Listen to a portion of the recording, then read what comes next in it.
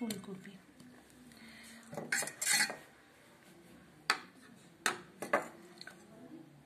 এখানে রয়েছে সর্ষে নুন হলুদ আর সর্ষের তেল এক চামচ।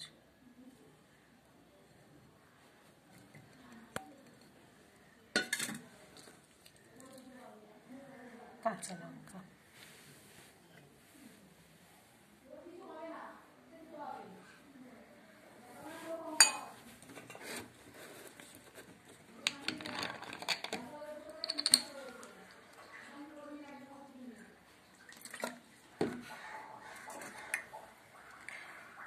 এটা ধুয়ে একটু সামান্য জল